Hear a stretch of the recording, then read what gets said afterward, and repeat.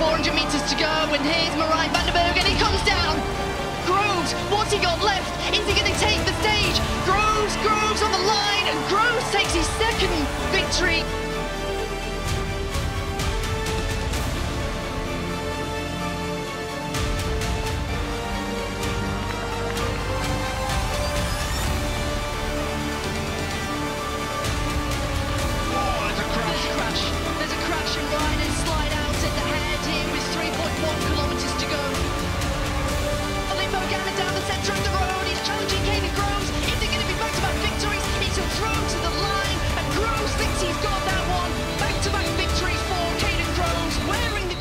Алексей.